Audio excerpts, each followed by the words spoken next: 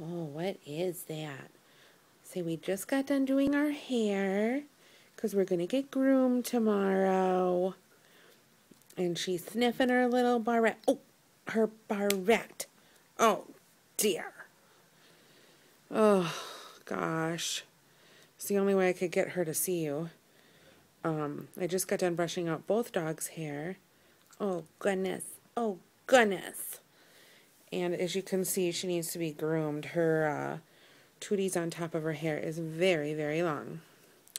So I will make a video tomorrow of both dogs and what they look like after they are groomed. Uh, hope everybody has a good Friday tomorrow. And we'll talk to everybody later. Say bye, Snooky.